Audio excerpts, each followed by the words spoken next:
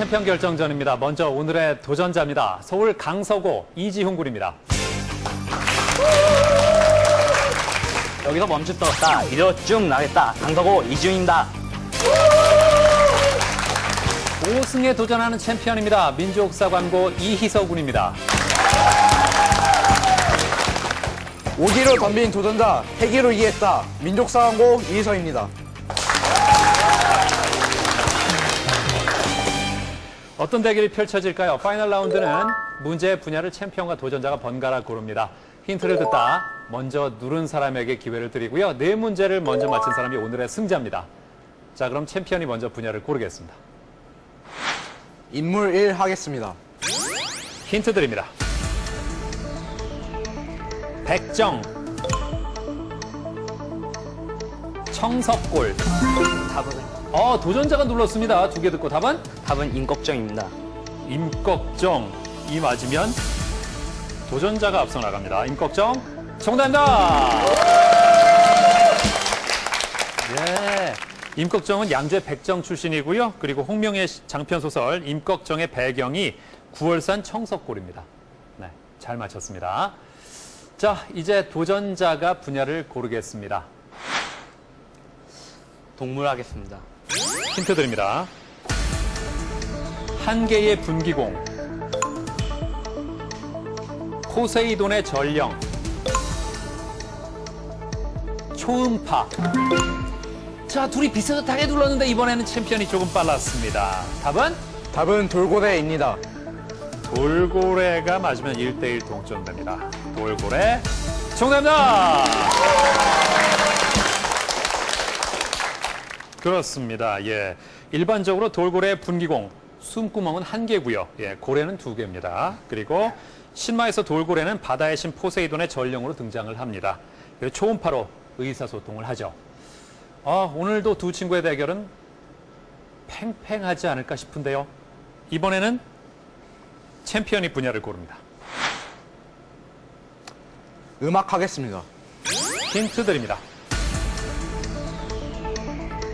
비제, 집시. 오, 챔피언이에요. 답은? 답은 카르멘 서곡입니다. 네? 카르멘 서곡. 카르멘 서곡. 이 맞다면 챔피언이 역전시킵니다. 카르멘 서곡. 정답입니다! 예, 카르멘 잘 맞췄습니다.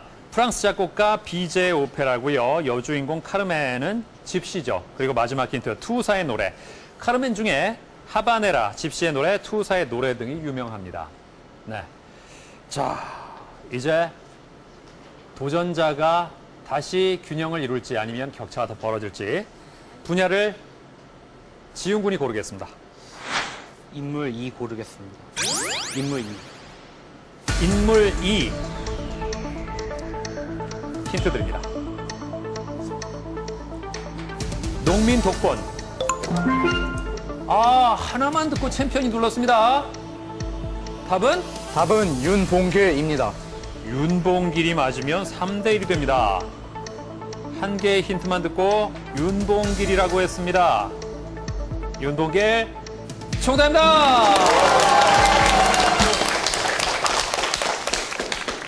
아, 왜 윤봉길이죠?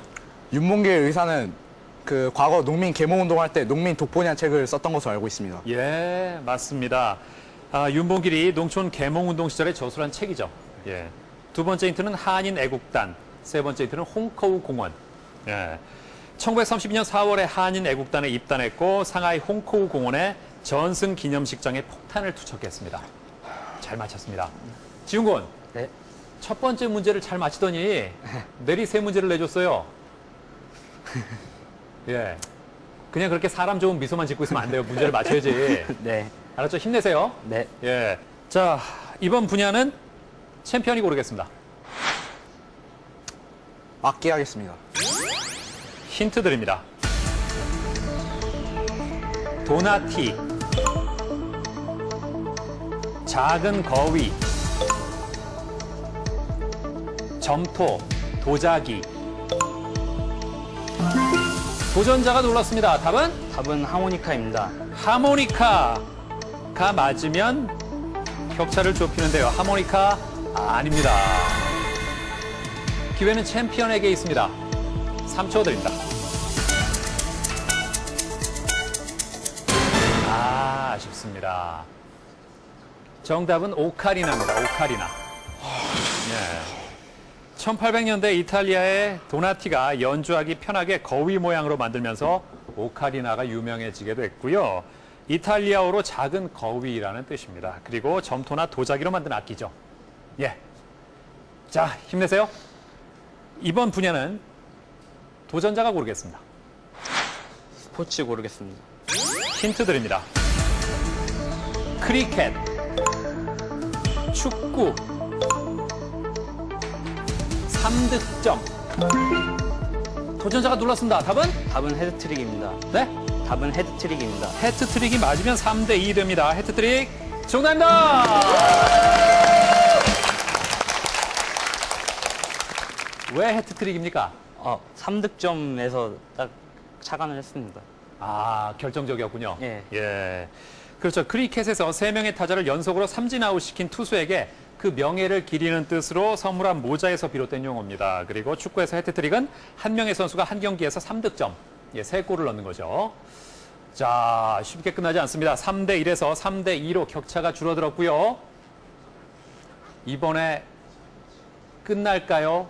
아니면 동점이 될까요? 이번 분야는 챔피언이 고르겠습니다. 질의하겠습니다. 힌트 드립니다. 만인의총, 광한루. 자, 챔피언이 조금 빨랐습니다. 대결 끝낼까요? 답은? 답은 남원입니다. 네, 남원. 남원. 힌트 두 개 듣고 남원이라고 했습니다. 남원이 오늘의 마지막 정답이라면 챔피언이 지난주에 이어서 다시 한번 4대 2로 승리를 거두면서 5승의 주인공이 됩니다. 남원. 정답입니다! 이렇게 해서 이성훈이 4대 2로 승리를 거두면서 5승에 성공합니다. 축하합니다.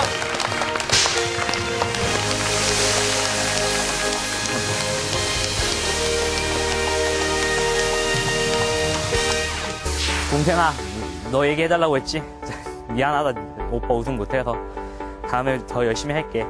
강릉에서 멀리 응원하러 와준 엄마, 동생 다영아, 떨어져서 정말 미안하고 친구들아, 나 떨어져도 반에 들여 보내주기로 했지?